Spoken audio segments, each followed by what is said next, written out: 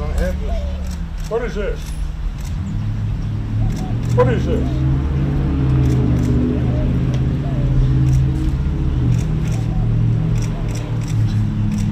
You know what that means? You didn't have to.